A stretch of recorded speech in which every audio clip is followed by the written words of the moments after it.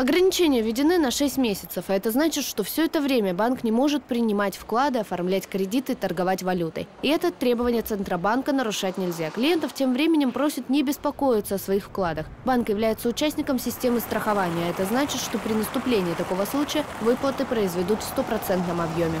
За миллион четыреста у вкладчиков и у индивидуальных предпринимателей значит, вклады застрахованы в АСВ агентство по страхованию вкладов. Даже в случае какой-то ситуации, что банк не сможет их выдавать, в конечном итоге, да, выполнять свои обязательства, в конечном итоге все эти вклады будут получены за миллион четыреста.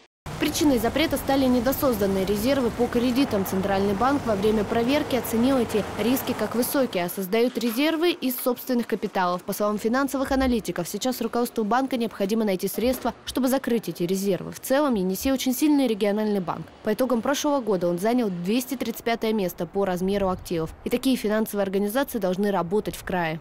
Это э, институт, да, то есть как бы такой средний институт э, финансовый, то есть Енисей не мелкий банк, во-первых, да, то есть Енисей там, там во второй сотни там, или в третьей сотне, то есть не мелкий банк довольно это средний банк, и чтобы средние банки тоже в нашей системе были, потому что, скажем, такая монополия, да, то есть крупных банков на проведение всех операций, это не очень хорошо, потому что в данном случае система становится менее устойчивой. Представители банка уже обратились в арбитражный суд Красноярского края с исковым заявлением о признании решения Центробанка недействительным. Это не фатальная ситуация.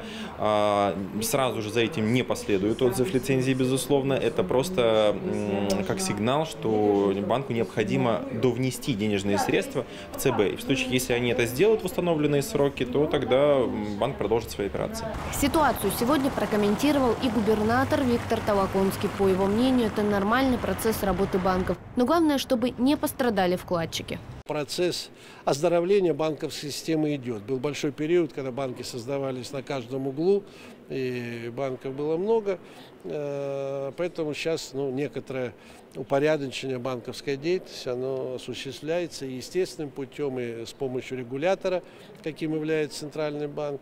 Но уверен, что банк Енисей все будет хорошо. Банк Енисей был создан в 1990 году. Это один из трех банков, которые имеют изначально красноярскую прописку и до сих пор здесь работают. Все остальные региональные финансовые учреждения, которые осуществляли банковскую деятельность, уже ушли в историю. Екатерина Погорелова, Алексей Овсянников. Новости.